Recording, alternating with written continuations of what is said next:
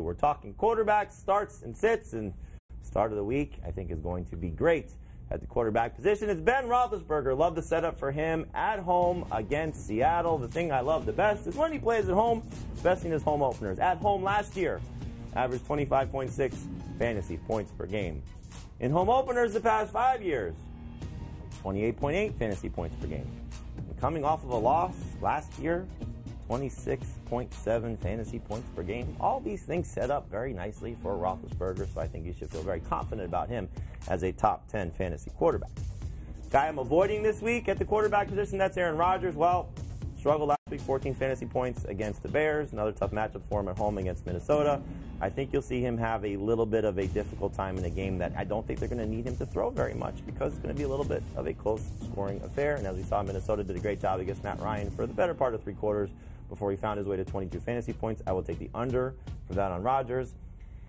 And if you feel lucky, start Josh Allen over Aaron Rodgers. Great setup for him this week against the Giants. They couldn't stop anything that Dak Prescott threw at him, and I like the fact that Allen was able to run again 10 carries, 38 yards, and a touchdown. Dave, what are you doing at the quarterback position? I am starting Dak Prescott. I'm all in, baby. This offense, I told you that it was going to be different this year, and boy, was it ever. Lots of movement, lots of passing, and lots of effectiveness. This quarterback really seems to agree with what Kellen Moore, their new play caller in Dallas, is telling him to do. And he's going up against a, a, Washington defense that cracked last week. 201 yards allowed in the air just in the second half and the Cowboys match up well against this defense. Dak Prescott, top six fantasy quarterback. I like Roethlisberger.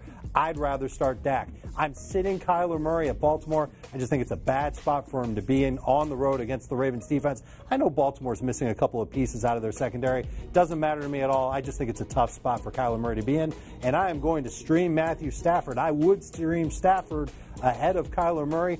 I don't know what's going on with this Lions run game. And I don't think it even matters because I think that's a tough matchup for Kerryon Johnson to begin with.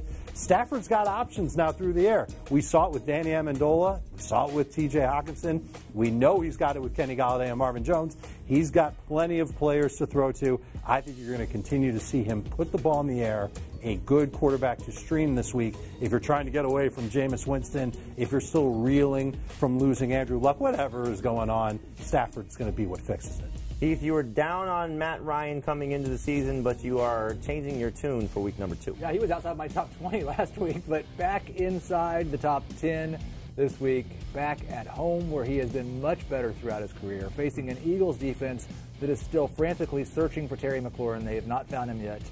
I expect this to be a relatively high scoring game and Ryan to put up good low end QB1 numbers. I am afraid of Philip Rivers, who was close to a start when I thought Hunter Henry was going to play. But if there's no Hunter Henry and there's no Mike Williams, you're looking at a receiving corps that is Keenan Allen, then Travis Benjamin, and Dontrelle Inman. There's going to be a lot of dump offs. I expect them to run the ball more.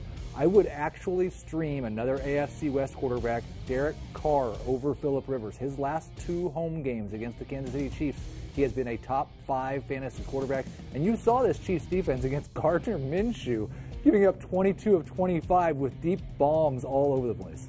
I like that call on Derek Carr. I keep moving him up and up and up. He's in my top 14. He may crack the top 12 as well. like the setup for him.